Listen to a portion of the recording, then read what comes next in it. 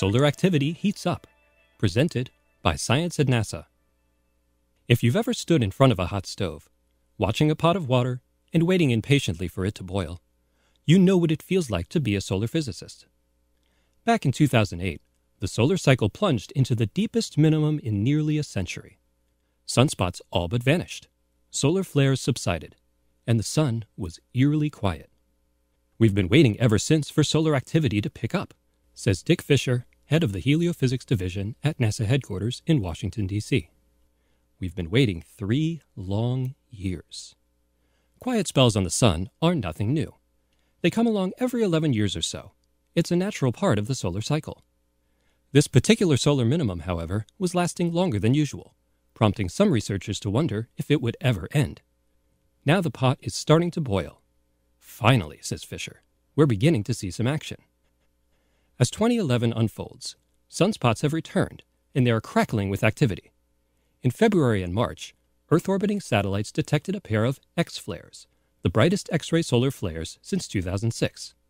Another eruption in March hurled a billion ton cloud of plasma away from the Sun at 5 million miles per hour.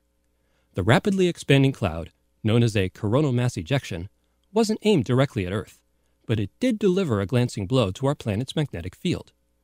The off center impact was enough to send northern lights spilling over the Canadian border into U.S. states such as Wisconsin, Minnesota, and Michigan. That was the fastest coronal mass ejection in almost six years, says Angelos Vourlidas of the Naval Research Lab in Washington, D.C.